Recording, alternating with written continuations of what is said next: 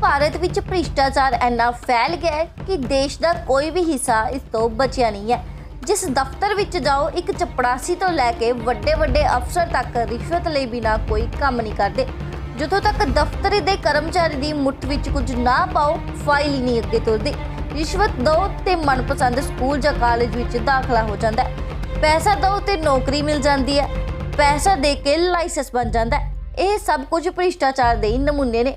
ਤੇ ਅੱਜ ਇਸੇ ਮੁੱਦੇ ਨਾਲ ਜੁੜੀ ਤੁਹਾਨੂੰ ਇੱਕ ਵੀਡੀਓ ਦਿਖਾਉਣ ਜਾ ਰਹੇ ਹਾਂ ਜਿਸ ਵਿੱਚ ਸਿਮਰਜੀਤ ਸਿੰਘ ਬੈਂਸ ਨੇ ਇੱਕ ਹੌਲਦਾਰ ਨੂੰ ਸ਼ਰੇਆਮ ਇੱਕ ਗਰੀਬ ਵਿਅਕਤੀ ਤੋਂ ਰਿਸ਼ਵਤ ਲੈਂਦੇ ਫੜਿਆ ਆਓ ਤੁਹਾਨੂੰ ਵਿਖਾਉਂਦੇ ਹਾਂ ਮੌਕੇ ਦੀਆਂ ਐਕਸਕਲੂਸਿਵ ਤਸਵੀਰਾਂ। ਯਾਰ ਤੂੰ ਕਰੀ ਜਾ ਕੋ ਮਰਜ਼ੀ ਕਰ ਲਾ।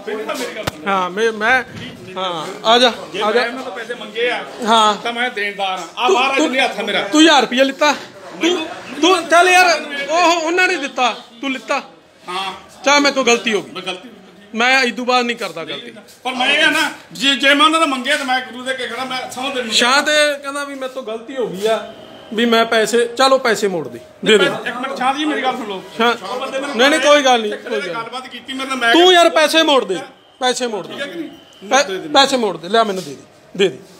ਤੈਨੂੰ ਮੈਂ ਕੁਝ ਨਹੀਂ ਕਹਿੰਦਾ ਉਹ ਨਹੀਂ ਕਰਦਾ ਫਿਰ ਨਹੀਂ ਕਰਦਾ ਮੈਂ ਕਹਿਤਾ ਨਾ। ਨਹੀਂ ਨਹੀਂ ਕਰਦਾ ਪਤਾ ਕੀ ਕੀ ਨਹੀਂ ਤਾਂ 1000 ਰੁਪਏ ਦੇ ਨੋਟ ਆ ਸ਼ਾਂਤ ਜੀ।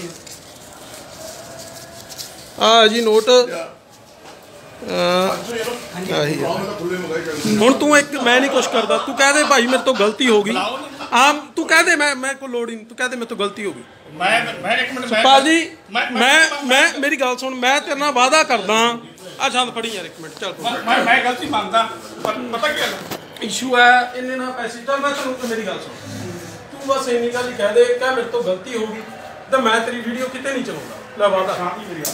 ਮੇਰਾ ਨਾਮ ਬੋਨੀ ਬੇਦੀ ਹੈ ਬੋਲੀ ਬੋਲੀ। ਹਾਂ ਜੇ ਮੈਂ ਮੰਗੇ ਹਾਂ ਹਾਂ ਹਾਂ। ਪਰ ਕੋਈ ਮੰਗੇ ਨਹੀਂ ਮੈਂ ਗਲਤੀ ਕਰ ਲਈ ਮੈਂ ਬਾਅਦ ਵਿੱਚ ਫੜ ਦੇ ਨਾ ਕਿਆ ਮੇਰੇ ਤੋਂ ਗਲਤੀ ਹੋ ਗਈ? ਗਲਤੀ ਹੋ ਗਈ। ਕਿਆ ਬੈਸਾ ਮੈਨੂੰ ਮਾਫ ਕਰ। ਮੈਂ ਤਾਂ ਮੈਨੂੰ ਮਾਫ ਕਰ ਮੈਂ ਗਲਤੀ ਹੋ ਗਈ। ਹਾਂ। ਭਾਈ ਮੈਂ ਮੰਗੇ ਨਹੀਂ। ਸਾਥ ਛੱਡ ਯਾਰ। ਭਾਰਤ ਵਿੱਚ ਭ੍ਰਿਸ਼ਟਾਚਾਰ ਇੰਨਾ ਫੈਲ ਗਿਆ ਹੈ ਕਿ ਦੇਸ਼ ਦਾ ਕੋਈ ਵੀ ਹਿੱਸਾ ਇਸ ਤੋਂ ਬਚਿਆ ਨਹੀਂ ਹੈ। ਜਿਸ ਦਫ਼ਤਰ ਵਿੱਚ ਜਾਓ, ਇੱਕ ਚਪੜਾਸੀ ਤੋਂ ਲੈ ਕੇ ਵੱਡੇ ਵੱਡੇ ਅਫਸਰ ਤੱਕ ਰਿਸ਼ਵਤ ਲਈ ਬਿਨਾ ਕੋਈ ਕੰਮ ਨਹੀਂ ਕਰਦੇ। ਜਦੋਂ ਤੱਕ ਦਫ਼ਤਰ ਦੇ ਕਰਮਚਾਰੀ ਦੀ ਮੁੱਠ ਵਿੱਚ ਕੁਝ ਨਾ ਪਾਓ, ਫਾਈਲ ਹੀ ਨਹੀਂ ਅੱਗੇ ਤੁਰਦੀ। ਰਿਸ਼ਵਤ ਦਿਓ ਤੇ ਮਨਪਸੰਦ ਸਕੂਲ ਜਾਂ ਕਾਲਜ ਵਿੱਚ ਦਾਖਲਾ ਹੋ ਜਾਂਦਾ ਹੈ। ਪੈਸਾ ਦਿਓ ਤੇ ਨੌਕਰੀ ਮਿਲ ਜਾਂਦੀ ਹੈ। ਪੈਸਾ ਦੇ ਕੇ ਲਾਇਸੈਂਸ ਬਣ ਜਾਂਦਾ ਹੈ। ਇਹ ਸਭ ਕੁਝ ਭ੍ਰਿਸ਼ਟਾਚਾਰ ਦੇ ਹੀ ਨਮੂਨੇ ਨੇ। ਤੇ ਅੱਜ ਇਸੇ ਮੁੱਦੇ ਨਾਲ ਜੁੜੀ ਤੁਹਾਨੂੰ ਇੱਕ ਵੀਡੀਓ ਦਿਖਾਉਣ ਜਾ ਰਹੇ ਹਾਂ, ਜਿਸ ਵਿੱਚ ਸਿਮਰਜੀਤ ਸਿੰਘ ਬੈਂਸ ਨੇ ਇੱਕ ਹੌਲਦਾਰ ਨੂੰ ਸ਼ਰੇਆਮ ਗਰੀਬ ਵਿਅਕਤੀ ਤੋਂ ਰਿਸ਼ਵਤ ਲੈਂਦੇ ਫੜਿਆ। ਆਓ ਤੁਹਾਨੂੰ ਵਿਖਾਉਂਦੇ ਹਾਂ ਮੌਕੇ ਦੀਆਂ ਐਕਸਕਲੂਸਿਵ ਤਸਵੀਰਾਂ।